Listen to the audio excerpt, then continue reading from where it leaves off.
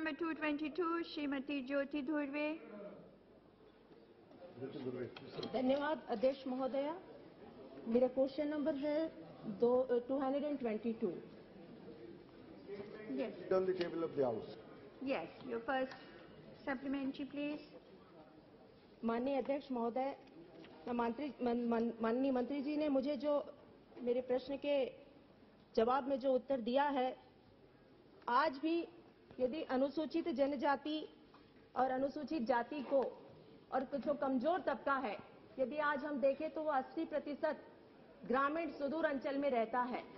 और निश्चित तौर पे यदि हम उनको ऊपर उठाने के लिए जो सरकार की योजनाएँ हैं, वो यदि हम देखें तो ऐसा लगता है कि आज भी उन तक नहीं पहुँच पाई है। और उसी का जो लक्ष्य है, वो 2008 से लेकर 2010 तक, मैंने जो अंतर देखा है चाहे वो गैर सरकारी बैंक हो या सरकारी बैंक हो, मैंने दोनों ही के बीच में जो अंतर मैंने जो देखा है, निश्चित रूप में ऐसा लगता है कि इस योजनाओं का आज भी लाभ अनुसूचित जाति, जनजाति और वह कमज़ोर सामान्य वर्ग है जिसे आज भी नहीं मिल रहा है। ऐसा क्या कारण है कि जिसके तहत आज भी अनुसूचित जाति और जनजाति पिछड़े हुए हैं? आज भी उन्हें स्वरोजगार योजना हो, चाहे प्रधानमंत्री स्वरोजगार योजना हो उसमें आज भी वो इतने लाभान्वित नहीं हुए हैं जितना कि उतना होना चाहिए। मैं मंत्री महोदय से यही जानना चाहती हूँ कि क्या विगत तीन वर्षों में जो उन्होंने दिया है उसमें क्या कुछ अंतर को दूर करने में कहाँ तक सक्षम होंगे मैं आपके माध्यम से जानना चाहती हूँ। मंत्री महोदय।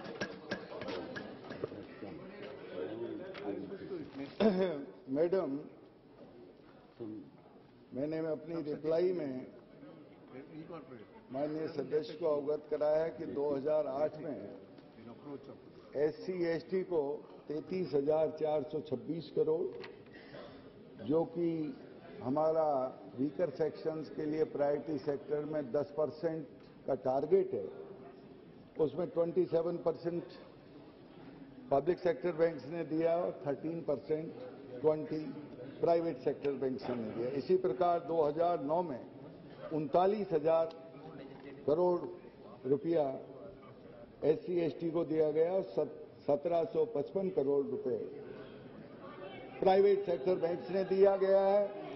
आपकी डीआईए डीआईआ के तहत 2009 में 803 करोड़ रुपया दिया गया। 40 परसेंट का टारगेट एस सी के लिए है, उसमें पब्लिक सेक्टर बैंक्स ने 39 परसेंट उसमें अचीव किया गया है। इसी प्रकार जो दो योजनाओं के बारे में स्वर्ण जयंती ग्राम स्वरोजगार योजना और स्वर्ण जयंती शहरी रोज़गार योजना के बारे में सदस्य ने जो अवगत कराया है, उसमें रिज़र्व बैंक के मास्टर सर्कुलर से ग्रामीण स्वरोजगार योजना के लिए 50 परसेंट हाल ही में टारगेट दिया है।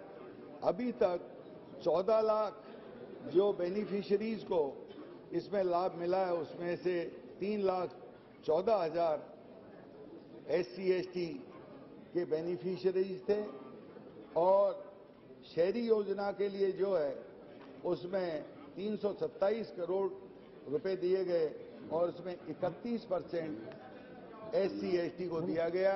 मैं माननीय सदस्य, ये इतफाक करता हूँ कि जहाँ कहीं भी कुछ कमी रही है, उसके लिए मैंने मेरी रिप्लाई में जो बताया कि किस किस स्टेज पर हम लोगों ने मॉनिटरिंग के लिए ज़्यादा से ज़्यादा एस सी को बैंकों से कर्जा मिले, विभिन्न योजनाओं में उनको मिले। उसका, उसके लिए प्रिकॉशंस लिए हैं। एक प्रधानमंत्री एम्प्लॉयमेंट जनरेशन जो प्रोग्राम है, उसमें भी सब्सिडी का प्रावधान रखा गया है, जिसमें एस सी एस टी शामिल है। अर्बन में 25 और रूरल में 35 परसेंट सब्सिडी दी गई है और मार्जिन मनी भी जनरल कैटेगरी से कम रखा गया विभिन्न योजनाओं में एस सी को ज़्यादा से ज़्यादा पैसे दिए जाने का प्रावधान किया जा रहा है। दूसरा पूरक प्रश्न पूछिए। माननीय अध्यक्ष महोदय, मेरे प्रश्न का जवाब मुझे लगभग पूरा नहीं मिला। धन्यवाद, यदि आपने मुझे दूसरा पूरक प्रश्न, मैं आपका धन्यवाद देती हूँ। माननीय मंत्री जी से मेरा दूसरा दूसरा प्रश्न है कि आज भी जो आदिवासी अनुसूचित जाति है अनुसूचित जनजाति है और जो कमज़ोर तबका है, जो वो गरीब ऋण लेने के लिए जब बैंक में जाता है तो निश्चित ही वह किसी बिचौलियों का शिकार होता है। और निश्चित उसके बाद उसके बाद जब वह बिचौलियों के शिकार होने के बाद, जब बैंक में जाने के बाद यदि किसी प्रकार का उसे ऋण की सुविधा मिलती भी है, तब जो बैंक के द्वारा जो छूट उस हितग्राही को मिलनी चाहिए, वह उसे उस बैंक के अधिकारियों और बिचौलियों के बीच में वह बढ़ जाता है। तो निश्चित तौर पे निश्चित तौर पे यहाँ भी वह अनुसूचित जाति और जनजाति और कमज़ोर वर्ग फिर भी आगे नहीं आ सकता। और वो योजना का जो लाभ वो किसी हद तक पूरा करना चाहता है वो लाभ लेना चाहता है वह लाभ उसे नहीं मिलता है। जो अधिकार उसे मिलने चाहिए मेरे एक और उसमें जब बैंक की गारंटी की डिमांड होती है बैंक के द्वारा तो मेरा यही एक पहला सुझाव था कि क्या आदिवासी और अनुसूचित दलित जाति के पास में या कमज़ोर तबके के पास में ऐसे कोई उनके पास में बैंक गारंटी की, के लिए चल या अचल संपत्ति की रजिस्ट्री नहीं होती है क्योंकि उनके पास में यदि वो आदिवासी है और दलित है तो उसके पास में पट्टे होते हैं जो स्वीकार नहीं किए जाते हैं। इसलिए मेरा ये सुझाव है कि क्या उन्हें उस पट्टे के माध्यम से क्या वो योजना का लाभ ले सकता है या बैंक की गारंटी यदि भारत सरकार उस योजना का लाभ उन्हें देना चाहती है तो क्या उसे वो गारंटी के रूप में भारत सरकार लेगी ताकि उन अनुसूचित जाति और जनजाति और कमज़ोर वर्ग के लिए जो हमने योजना बनाई है वो योजना का सीधा सीधा लाभ उन तक पहुँचे। इसके लिए कोई ऐसे ठोस कदम यदि माननीय मंत्री जी उठाना चाहते हैं तो मैं धन्यवाद दूँगी कि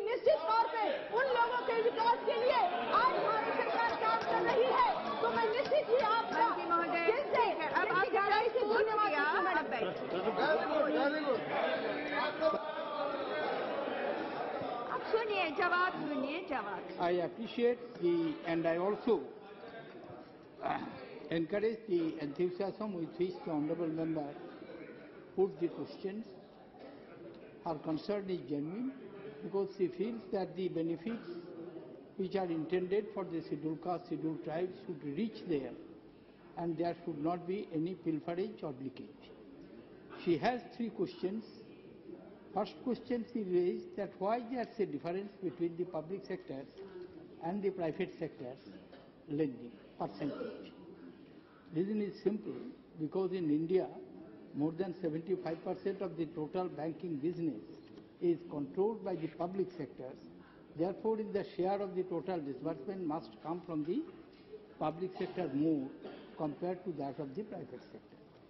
The second question which she raised about the collateral security, most of these cases there is no need of collateral security, but if there, please, please, please let me understand, and if you know more then you can answer.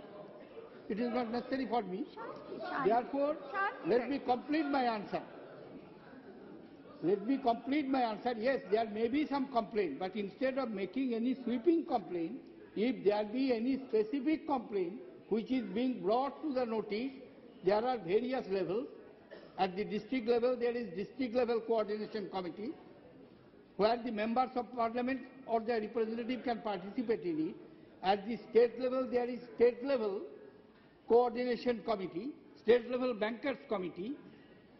Even I myself are taking the meetings along with the chief ministers and finance ministers and all the banks who are operating in different zones. Last year I have completed five such, six such meetings. This year also I am going to do this. Sometimes the complaint comes, but it should not be proper to say there is any sweeping. As and when the complaint comes, we shall have to address it. The third aspect about the collateral security, there is no need of collateral security in respect of these cases, but if some instances are being brought to the notice, we will take the appropriate action.